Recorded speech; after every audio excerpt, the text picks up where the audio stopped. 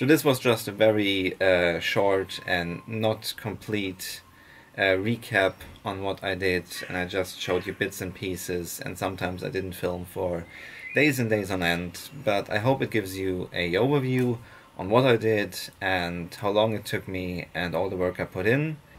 So I took out all the flooring, all the bolts and all the uh, cladding on the side so this is now a blank canvas basically which I can start converting.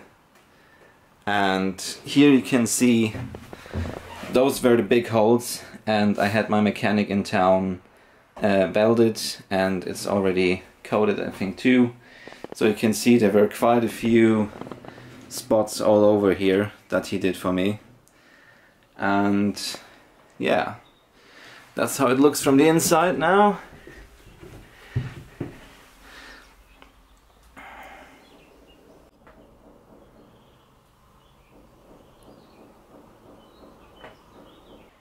guys, it's been another week or so and I just wanted to share with you the progress on the van. Because as you can see I've got some wooden sideboards installed and I got a nice beautiful wooden floor and I treated both last night so it now smells very nice.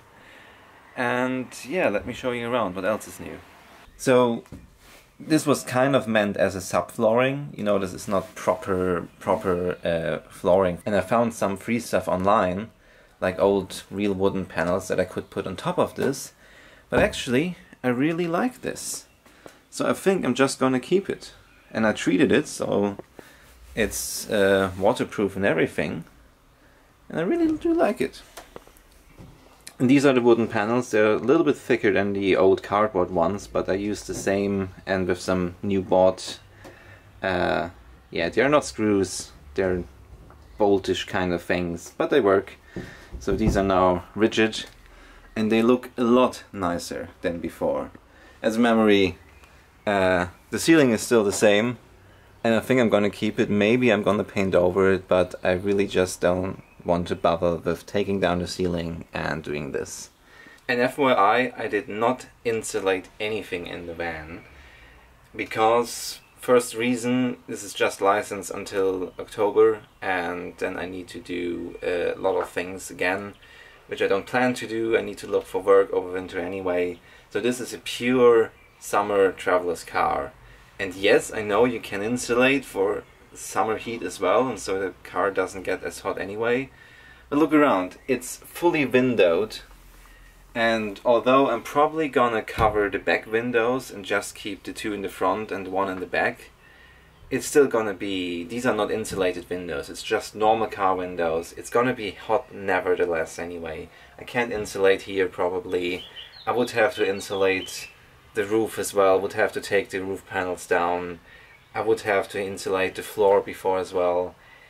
It's just a lot more work, a lot more money that I don't want to bother spending. I want to get on the road as soon as possible.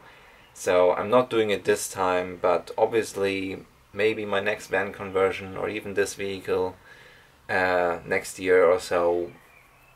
Obviously some uh, insulation would be nice, but not this time. So I screwed these floor panels down. There's some more screws. There's the big ones in the back. And that's actually where I'm gonna fix maybe a small cupboard. Because I need a place to put my spare battery, or not spare, but like the secondary battery. And water canisters and uh, gas cooker and stuff like that. So I plan to build a small cupboard here that's gonna be also fixed with these screws to the floor. And as I said last time, I'm just gonna fit a huge big platform um, with a huge big bed and maybe that's gonna end up in some seating here and maybe a folding uh, folding table here so I can actually sit there as well and I have like a little table at least. But this is a lot easier than actually building a uh, whole cover to the side and a bed that slides out or folds out or whatever. So just having a huge platform here also means that I have more storage than I would origi originally had with my plans because I'm just going to buy some plastic or wooden boxes and I have bags and stuff like that. I'm just going to throw everything under the bed and I'm fine. So that's my plan. I also repaired this one because that was completely broken. I fixed some uh, plastic cover to these uh, to these ones. This one was here before, but the other one you can see I glued in. It's not not really the right one, but I, I fixed it in nevertheless. This is now repaired. Also I had the uh, signal horn for the car reinstalled because it didn't have one. And legally in Germany you're not allowed to use one, but you ought to have one. so uh, I'd rather have this done now than later and, and have some problem with the police or whatever. And you know, if you're traveling abroad and there's just road circumstances you're not used to, and I'll be driving on the British Islands in left-hand traffic, I'm sure there will be some uh, honking necessary. I also fixed this thing down because it was completely loose. Same with this plastic cover, it was, I mean it's still loose, but it's way better than before. I also fixed these windscreens because uh, I don't have a ceiling fan. I don't have any kind of ventilation, none of the windows in the back are open.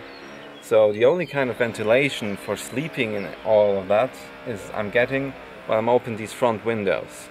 So I have these windscreens now, so even when it rains, uh, there's nothing coming inside. Those are on both sides and that's going to be my improvised uh, ventilation because again I don't want to touch the roof and I don't want to uh, install a roof fan as well. I'm not sure if I showed it to you before but this sliding door had a huge gap, huge hole right here so I could stick my hand, my whole arm in there and see into the inside of the van. So I didn't, didn't even ask him to do it, but my mechanic also fixed this uh, plate, bolted it I think. So now I'm gonna figure out how to uh, make this watertight and seal it, and then also spray it with paint of course. But another thing that has been fixed. But yeah, that's that's really about it. This is the update so far. Um, obviously the net next steps uh, because now the vehicle is basically all repaired it's all good to go I have a this blank canvas now with the floor in the side panels in I can do whatever I want now with this uh, with this empty space and that's just what I plan to do maybe I need some more cleaning and also two big more things are the electrics so fitting the solar panel on the roof drilling a hole for that doing all the wiring, um, which is not much. I mean, I just need some lights in the ceiling and an inverter and everything installed next to the battery.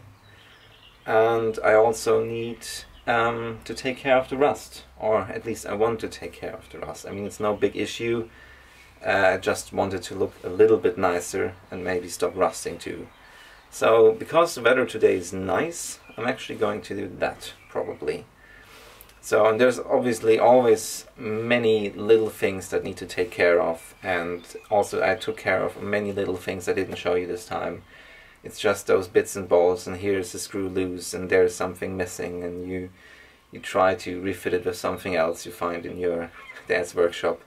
So yeah, that's about it for now and see you probably next week again. Good morning guys, it's another beautiful day and great weather means I have lots of time to work on the bus. I just wanted to quickly show you the progress from the last two days, which as you can see involved mostly electrics and wiring and battery stuff. So let me show you. So the first and most complicated thing I did uh, the past two days was to set up this second battery. This one is connected through this wire to the uh, starter battery and this relay right here does the job with this signal cable here um, that only when the engine is running this is actually uh, connected. So only when the engine is running this battery is being charged as well and if the engine is not running this is disconnected. So I can charge my phone, uh, laptop, camera batteries, everything, use the lights, the interior, um, have this power inverter here, so I actually have a real power plug, hopefully. Um, so I can discharge this battery basically fully without discharging the battery in the front. So I can still start the vehicle, I can still drive around, even if this is empty. The big problem I had was finding an actual signal from the engine, from the uh, power generator from the engine, uh, that tells this relay to shut or not shut. So the guys in the internet, uh, like the pin I used first, didn't work. There were only two volts on there, and I just used another one that actually has 12 volts, so now it's working. Not sure where I connected it to, but it's it's working just fine, okay. And so I'm not complaining, even if it's not properly done. What I have done, however, is secured everything with fuses. So there's an 80 amp fuse right here, uh, between the spare, the second battery and the relay. And there is a fuse in uh, the engine room. And here you can just see how everything is uh, fixed to the uh, to the vehicle itself. So that's minus for you. So, next thing on the list, and what is my job today, is to fix this solar panel right here, which I just covered so it's not producing uh, too much energy. Um, to fix that to the roof, no idea how to do that. To connect it to this uh, solar charging, uh, like micro-controlled whatever. So power is going to come in here from the solar panel, going to charge the battery, and all my um, electronics are also going into this. So this little thing is also taking care of that my battery is not being discharged too much. Again, I have fuses for this whole system, so everything should be secure and not blow up my van or burn it to crisp, hopefully. Um, but I'm by no means an electrician, and please, please don't take this as a guide how to do this. Uh, there is good guides and good YouTube videos from other great people here. Uh, please look them up. I'm no expert. I'm doing this for the first time ever. I'm just showing you what I'm doing, maybe giving you some uh, some ideas, but nothing more really. So please don't take this as a guide. There you can see the holes I drilled yesterday, where the power cables from the uh, solar panel are coming in. They're going to get in here and through the frame hopefully down here. And of course there's the lightning I have to fix. I mean this is just from the vehicle itself that I'm not to use. So I bought my own lights that I want to use. Those I have to fix up. And yeah, so that's the plan for today. And I think that's enough. Hey guys, one more thing. Uh, the stuff on the roof is going really well. Like I can fix all the screws and all the, the fittings to actually attach the solar panel to. But I have one problem. Up here, uh, I can't reach to the inside from the outside, which is something I need to do because there's a counter screw inside the van that I need to hold while I screw the actual screw from the outside. So all the other screws were no problem because I could reach from the outside, there's the sliding door, there's the, the back of the van. But here I can't reach to the inside from the outside. Normally you would ask somebody. So basically I just zip tied this wrench to the roof of the van, so it's actually holding the counter screw and I can work from the outside. Turned this, nothing, nothing worked. So this is where, these, these, this is where you can see the outside and this is the screw I want to turn and I want to open.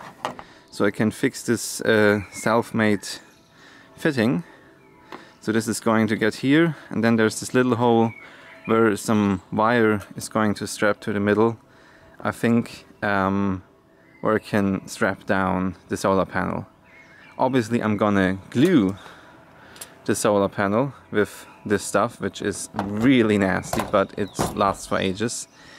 Um, so I'm gonna glue it down anyway, but just for an extra precaution that when I'm driving on the highway with 120 kilometers per hour or something, I really don't want this thing to fly off.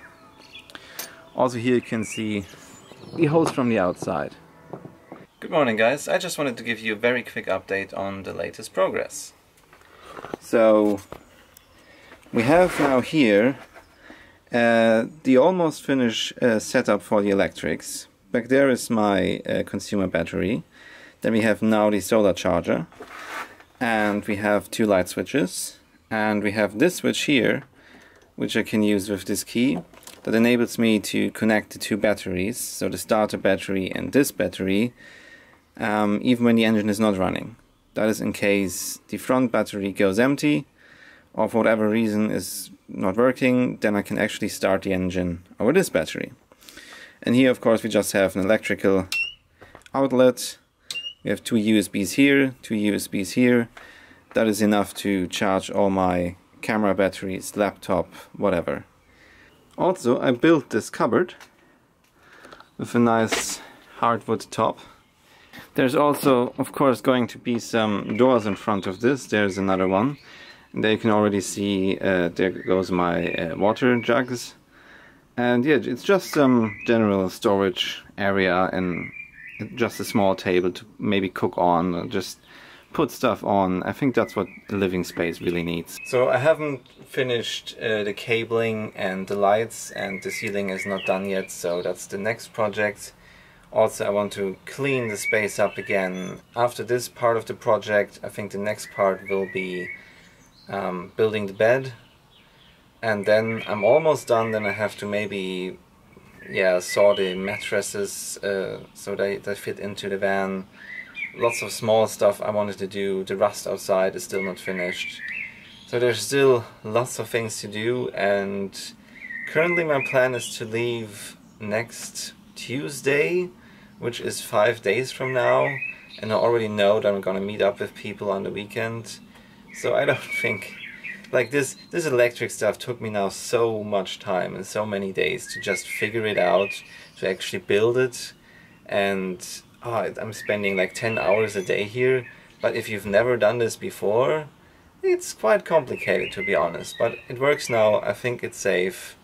Um, let's, let's hope it actually works for the whole trip. Hey guys it is really hot. Summer is here and I'm currently grinding down all the rest, rust or sanding down the rust. And uh, if you look at this fender it is really not looking too great because it's all rusted through. There's like big gaps and holes. I have to fill in all of this because getting a whole new part would be way too expensive. And yeah I'm just grinding down all the rust to the bare metal and then I'm gonna treat it and then I'm gonna paint it over after filling it in of course. But there is more problematic spots that I didn't see. As soon as you take any kind of cover off like this doorstep here and there's again just big gaping holes that probably ought to be welded but I'm also just gonna fill them in and put some stuff uh, underneath uh, from the underside uh, to stop water getting in. But really this is all there's so many holes and gaps and so much rust and so I'm really not looking forward to doing this on the whole vehicle. I mean this is probably the worst spot uh, but as you can see this is how it looks afterwards if you remember this a big gaping hole in here so uh, my mechanic put some metal on top of that I filled it over and I painted it over and yes, you can see a color difference. Uh, this ought to be the same color, so I'm guessing this is just old and faded. Once it looked like this. Uh, it's not pretty, but I don't really care. Uh, you can't stick your hand in there anymore, or your arm. And especially there's no more water or wind or whatever coming in there. So I'm happy about that. Another progress update is that I uh, put some foil onto the back windows. And if you look on the inside you can actually see that there's uh, the same wood like uh, down here and yeah I think it looks nice now and again I'm checking on the electrics. And this cupboard that I built is uh, done. But as you can tell I'm currently testing the lights. Because uh, the voltage is a bit too high. Like now it's 12.7 volts. And this this light seems to be doing okay. But this one um, this one is getting really hot especially when the battery is full with it's 14 volts or something. But technically it's working. The solar panel is charging the battery and when I drive it's charging the battery. And uh, there's fuses in between all of those and it's working perfectly. I can charge my laptop here now. It's just a slight situa situation that I want to um, test before I actually go on the road trip because it would be pretty bad if I can't actually really use it because the lights always go way too hot. So that's a little side project today, but mainly I'm doing the outside and the rust because today and tomorrow are the last really sunny days and then it starts raining again. And I want to start traveling by the end of the week, so I'm in a hurry. Good morning guys. I'm sort of four weeks behind schedule, but I'm almost done. And today's Tuesday and I want to leave on Thursday, which means I basically have to finish the van today, so I can pack tomorrow and maybe do some other stuff, so I can hopefully leave Thursday morning. So I haven't done uh, much filming lately because yeah, I was in a rush and I was just building, building, building, but today I remembered, so let me show you the almost done van. Here you can see I fitted some um, reflective foil on the inside, so it's now a little bit like a mirror, and you can properly see inside, which is very handy if you want to sleep inside. This cupboard you know, yes, but it is actually constantly working and the solar panel is charging quite nicely. But I now actually fitted the lights. So as you can tell, I have these fairy lights all around and in the middle some blue whitish lights that are not nice, but they just are supposed to make it bright in here. So this is all working nicely. I actually had a completely new front windscreen installed because it had cracks and stuff in it so uh, you probably can't tell but it's really nice to drive now you can actually see through a clear uh, front windscreen. You can also see that I already fitted these because these are later on holding in the curtains. The holes are already drilled and the curtains are in here already sewn at the edges. So this is what I'm going to fix now. And after that I'm going to build the bed. Because that is basically the only thing that's still missing is the bed, some small stuff and the curtains. Also I'm completely done with the paint job. So if you remember this uh, wing of the car was completely corroded and uh, everything was rusty so this whole thing now is freshly painted. There are some minor scratches and things that are painted just with, with a brush, but the big uh, portions I painted with a spray can. So the whole van uh, should look a lot nicer now. No more rusty parts or spots and blank metal, nothing like that. Good morning guys. As you can tell, I'm actually sitting in my van, which means the bed is finally done. Um, you can actually take it out, which is pretty nifty. So just one person and four screws, and then you can easily take it out. And then you have this huge loading area, so you can still use it as a transport vehicle. Um, I also cut the mattress. I also fitted the uh, curtains. Everything is oiled again, so it's all nice and shiny and smells nice. Um, I think I showed the lights. Of course I cleaned everything. Lots of small bits and pieces. The paint job outside is done. Um, I don't know, honestly. I worked so much that I completely lost track. And everything hurts. Like my muscles and my whole body are so sore because the last few days I worked like 12, 14 hour shifts and well into the night because it's summer and it's it stays bright for a long time here, which is nice. But I am so tired, and besides that, I have to pack and do the laundry and say goodbye to people and prepare my laptop and uh, clear out the flat I'm living in at the moment and so many things and I'm by far not done. So today I want to start furnishing the van and put things inside and maybe clean the front one last time uh, check the spare tire if it needs air or something or even if I can even get it out it might make be rusted uh, shut. So yeah there's a lot of things still to do and still goodbyes to say and everything. It's just three months but you know people want to say goodbye. So uh, let me get started and this will probably the last video on the van conversion itself because I am basically done. I just need to put things inside and get on the road. Um, but there will be most likely a completely separate video where I just showcase the van itself in its finished state with all the equipment inside, like on the road, on the spot, uh, where I can show you all the functions, all the bits and pieces I fitted, um, so uh, it's worthwhile living in it on the road. So this was just a very uh, short and not complete uh, recap on what I did and I just showed you bits and pieces and sometimes I didn't film for days and days on end but I hope it gives you a overview on what I did and how long it took me and all the work I put in and if you want to know more uh, head to my blog or ask questions down below or just message me and uh, I'll hopefully can answer them.